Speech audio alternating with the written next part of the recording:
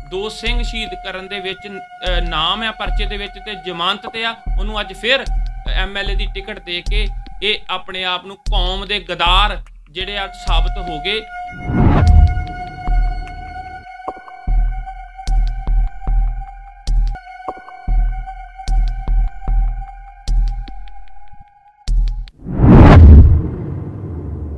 ਤੁਸੀਂ ਚੱਕਦੇ ਟੀਵੀ ਦੇਖ ਰਹੇ ਹੋ, ਮੈਂ ਹਾਂ ਗੁਰਵਿੰਦਰ ਸਿੰਘ।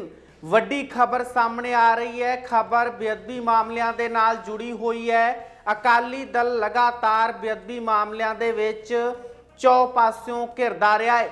ਹੁਣ ਇੱਕ ਵਾਰ ਫਿਰ ਅਕਾਲੀ ਦਲ ਤੇ ਸਵਾਲ ਖੜੇ ਹੋ ਰਹੇ ਨੇ। ਬੀਤੇ ਦਿਨੀ ਅਕਾਲੀ ਦਲ ਨੇ 6 ਉਮੀਦਵਾਰਾਂ ਦਾ ਐਲਾਨ ਕੀਤਾ, ਜਿਸ ਵਿੱਚੋਂ ਇੱਕ ਉਮੀਦਵਾਰ ਕੋਟਕਪੂਰਾ ਤੋਂ ਮਨਤਾਰ ਸਿੰਘ ਬਰਾੜ ਹੈ। ਮਨਤਾਰ ਸਿੰਘ ਬਰਾੜ ਨੂੰ ਜਦੋਂ ਉਮੀਦਵਾਰ ਐਲਾਨਿਆ ਗਿਆ। ਉਸ ਤੋਂ ਬਾਅਦ ਸਿਆਸੀ ਹਲਕਿਆਂ ਦੇ ਵਿੱਚ ਹਲਚਲ ਵੱਧ ਗਈ।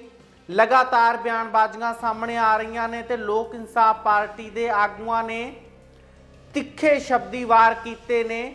ਉਹਨਾਂ ਕਿਹਾ ਕਿ ਪੰਥਕ ਆਪਣੇ ਆਪ ਨੂੰ ਕਹਾਉਣ ਵਾਲੇ ਅਕਾਲੀ ਦਲ ਬੇਅਦਬੀ ਦੇ ਜਿਹੜੇ ਦੋਸ਼ੀ ਨੇ, ਉਹਨਾਂ ਨੂੰ ਟਿਕਟ ਵੰਡ ਰਹੀ ਹੈ। ਉਹਨਾਂ ਕਿਹਾ ਕਿ ਸਿੱਧੇ ਤੌਰ ਦੇ ਉੱਤੇ ਚਾਰਜ ਸ਼ੀਟ ਦੇ ਵਿੱਚ ਨਾਮ ਮਨਤਾਰ ਸਿੰਘ ਬਰਾੜ ਦਾ ਆਉਂਦਾ ਹੈ। ਐਸਆਈਟੀ ਨੇ ਜੋ ਰਿਪੋਰਟ ਸਬਮਿਟ ਕੀਤੀ ਹੈ ਤੇ ਮਨਤਾਰ ਸਿੰਘ ਬਰਾੜ, ਜ਼ਮਾਨਤ ਤੇ ਬਾਹਰ ਹੈ ਤੇ ਜ਼ਮਾਨਤੀ ਬੰਦੇ ਨੂੰ ਕਿਸ ਤਰੀਕੇ ਦੇ ਨਾਲ ਕੋਈ ਪਾਰਟੀ ਟਿਕਟ ਦੇ ਸਕਦੀ ਹੈ? ਕੀ ਕੁਝ ਕਿਹਾ ਇਸ ਮੌਕੇ ਜਗਜੋਤ ਸਿੰਘ ਖਾਲਸਾ ਨੇ, ਜਿਹੜੇ ਕਿ ਆਗੂ ਨੇ ਲੋਕ ਇਨਸਾਫ ਪਾਰਟੀ ਦੇ? ਤੁਸੀਂ ਵੀ ਦੇਖੋ। ਦੇਖੋ, ਆਪਣੇ ਆਪ ਨੂੰ ਪੰਥਕ ਸਰਕਾਰ ਅਖਵਾਉਣ ਵਾਲੀ ਤੇ ਸਿੱਖਾਂ ਦੀ ਨੁਮਾਇੰਦਾ ਜਥੇਬੰਦੀ ਅਖਵਾਉਣ ਵਾਲੀ ਪਿਛਲੇ ਦਿਨੀ ਕੱਲ ਜੋ ਨੇ ਟਿਕਟ ਅਨਾਉਂਸ ਕੀਤੀ ਆ ਮਨਤਾਰ ਬਰਾੜ ਦੀ ਕੋਟਕਪੂਰੇ ਤੋਂ। ਕੋਟਕਪੂਰੇ ਦੇ ਉਸ ਵਿਅਕਤੀ ਦੀ ਟਿਕਟ ਅਨਾਉਂਸ ਕੀਤੀ ਹੈ ਜਿਹਦਾ ਬਹਿਬਲ ਕਲਾਂ ਗੋਲੀ ਕਾਂਡ ਦੇ ਵਿੱਚ ਚਾਰਜ ਸ਼ੀਟ ਆ, ਉਹਦੇ ਤੇ ਪਰਚਾ ਦਰਜ ਆ। ਜ਼ਮਾਨਤ ਤੇ ਉਹ ਇਸ ਟਾਈਮ ਜਿਹੜਾ ਆ, ਬਾਹਰ ਆਇਆ ਹੋਇਆ ਆ। ਤੇ ਉਹ ਗੋਲੀ ਕਾਂਡ ਕੀ ਆ? ਗੁਰੂ ਗ੍ਰੰਥ ਸਾਹਿਬ ਜੀ ਦੀ ਹੋਈ ਬੇਦਬੀ ਦਾ ਇਨਸਾਫ ਲੈਣ ਵਾਸਤੇ ਸਿੰਘ ਜਿਹੜੇ ਉੱਥੇ ਧਰਨੇ ਤੇ ਬੈਠੇ ਸੀ ਤੇ ਉੱਥੇ ਬਾਦਲ ਸਰਕਾਰ ਸੀ ਤੇ ਬਾਦਲ ਦੇ ਹੁਕਮ ਦੇ ਨਾਲ ਸੁਖਵੀਰ ਬਾਦਲ ਦੇ ਹੁਕਮ ਦੇ ਨਾਲ ਸਮੇਤ ਸੈਣੀ ਨੇ ਜਿਹੜੀ ਉੱਥੇ ਗੋਲੀ ਚਲਾਈ ਸੀ ਤੇ ਮਨਤਾਰ ਬਰਾੜ ਉੱਥੇ ਮੌਜੂਦ ਸੀ। ਮਨਤਾਰ ਬਰਾੜ ਦੇ ਨਾਲ ਕਾਲ ਜਿਹੜੀ ਉਹਦੇ ਕਾਲ ਦੇ ਨਾਲ ਕੰਟੈਕਟ ਕੀਤਾ ਜਾ ਰਿਹਾ ਸੀ, ਜਿਹਦੇ ਕਰਕੇ ਉਹ ਸਾਰੇ ਸਬੂਤ ਹੋਣ ਦੇ ਬਾ- ਹੋਣ ਦੇ ਨਾਲ ਉਹਦੇ ਤੇ ਪਰਚਾ ਦਰਜ ਆ। ਸੋ ਇਹ ਅੱਜ ਨਹੀਂ, ਬਾਰ-ਬਾਰ ਇਹ ਚੀਜ਼ ਸਿੱਖਾਂ ਨੂੰ ਦਰਸਾਈ ਜਾ ਰਹੀ ਆ। ਜਦੋਂ ਜਦੋਂ ਵੀ ਜਿਸ ਜਿਸ ਨੇ ਵਿਅਕਤੀ ਨੇ ਵੀ ਸਿੱਖਾਂ ਦੇ ਉੱਤੇ ਗੋਲੀਆਂ ਚਲਾਈਆਂ, ਸਿੱਖਾਂ ਦੇ ਬੱਚਿਆਂ ਨੂੰ ਜਿਹੜਾ ਆ ਉਹ ਮਾਰਿਆ ਗਿਆ ਆ। ਉਹਨਾਂ ਨੂੰ ਸ਼ਹੀਦ ਕੀਤਾ ਗਿਆ ਆ। ਉਹਨਾਂ ਨੂੰ ਇਸ ਪੰਥਕ ਸਰਕਾਰ ਅਖਵਾਉਣ ਵਾਲੀ ਅਖੌਤੀ ਪੰਥਕ ਸਰਕਾਰ ਨੇ ਉੱਚੀਆਂ ਪਦਵੀਆਂ ਦਿੱਤੀਆਂ, ਚਾਹੇ ਉਹ ਸਮੇਧ ਸੈਣੀ ਹੋਇਆ, ਚਾਹੇ ਇਜ਼ਹਾਰ ਆਲਮ ਹੋਇਆ, ਚਾਹੇ ਉਹਦੀ ਵਾਈਫ ਹੋਈ ਤੇ ਚਾਹੇ ਅੱਜ ਮਨਤਾਰ ਬਰਾੜ ਜਿਹਦਾ ਦੋ ਸਿੰਘ ਸ਼ਹੀਦ ਕਰਨ ਦੇ ਵਿੱਚ ਨਾਮ ਆ, ਪਰਚੇ ਦੇ ਵਿੱਚ ਤੇ ਜ਼ਮਾਨਤ ਤੇ ਆ, ਉਹਨੂੰ ਅੱਜ ਫਿਰ ਐਮਐਲਏ ਦੀ ਟਿਕਟ ਦੇ ਕੇ ਇਹ ਆਪਣੇ ਆਪ ਨੂੰ ਕੌਮ ਦੇ ਗਦਾਰ ਜਿਹੜੇ ਆ ਸਾਬਤ ਹੋ ਗਏ।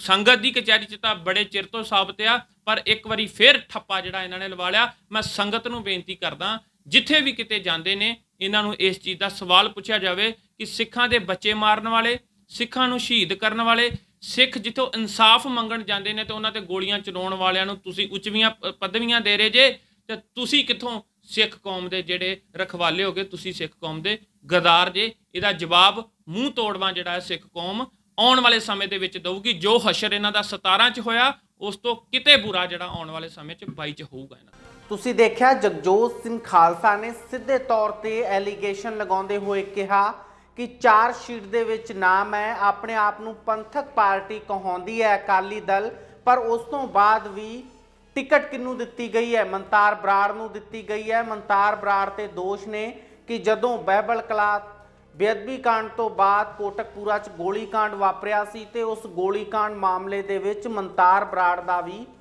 ਯੋਗਦਾਨ ਸੀਗਾ।